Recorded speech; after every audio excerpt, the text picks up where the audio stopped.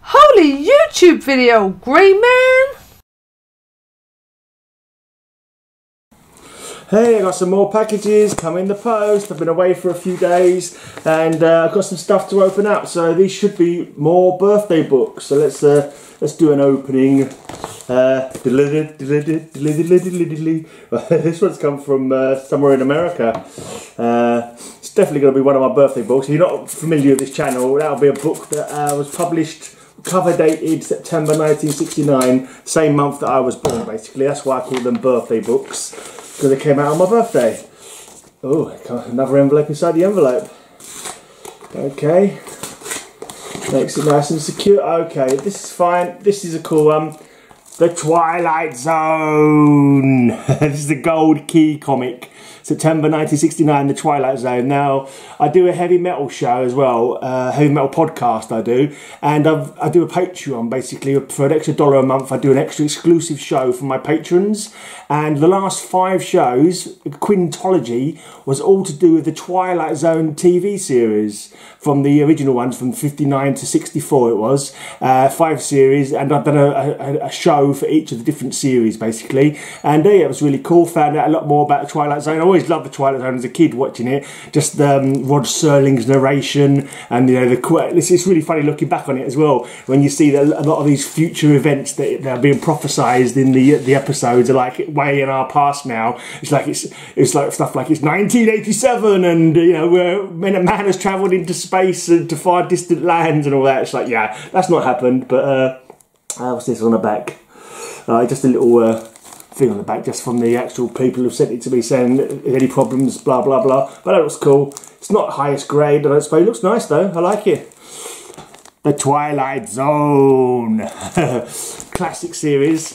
Right, let's have a look. So that's the only Gold Key comic that I've got, as far as I'm aware. It was the only one from Gold Key that I think that came out in the month of my birth so it's the only one I was interested in. So I'm collecting all the comics from, from September 1969 uh, that are superhero, uh, a few war ones, but I'm not interested in the humour comics like uh, Archie or anything like that. I've never really been into those, so I'm not going to be not going to be bothering with them. Uh, this is another nicely wrapped one.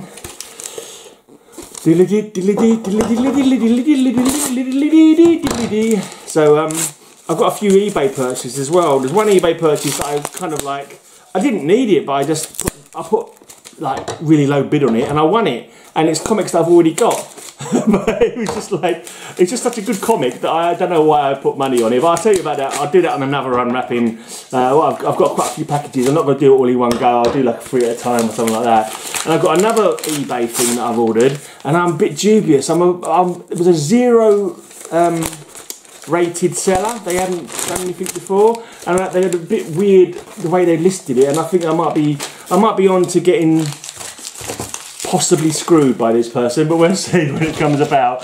I won't bloody accept it if they try and uh, try and mess with me. Right, so what's this one? The Mighty Avengers, number 68. Yeah, look at that one. Oh yeah, awesome stuff. The Vision. What's happened to the Vision? Only the Vision could tell us how to save the Earth and he may never speak again. Cool team there. Wasp, Yellow Jacket, probably before he got done for uh, abusing his wife. Uh, Black Panther, Giant Man, or Goliath, wherever he is there. And uh, that's funny, you got Yellow Jacket and you got Goliath. So that must be Hawkeye when he was being Goliath, mustn't it? Uh, or Giant Man. I can't remember which. I think he used different. I think he's used both names, haven't they? And of course, Thor. So that's a pretty cool team. Pretty cool team there. Good little book. Right, and then the last one for me to open up in this little opening, opening of my birthday books. Ah, let's have a look what we've got here then. Not the greatest of packages, it's quite, it's quite sturdy cardboard I suppose, no complaints. Uh, didn't pay too much for this one, yeah, a war book featuring the haunted tank, GI Combat. You got to lead us to safety, kid. We can't see and the, the Germans are, have their guns trained on them even as we speak.